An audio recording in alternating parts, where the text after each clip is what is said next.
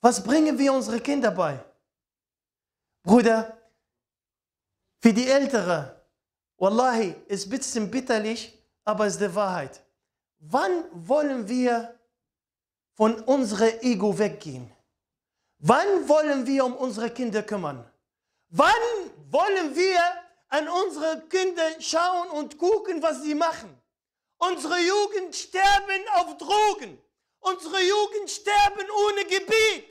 Unsere Jugend sterben ohne La ilaha illallah.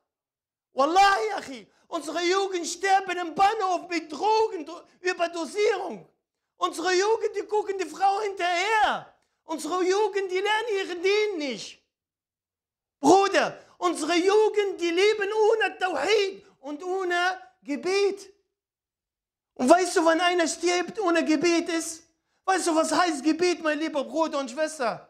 Und du guckst nur nach deinem Ego und du denkst nur an dich und du denkst nur an diese Dunja und sammelst du nur Geld, Geld, Geld, Geld.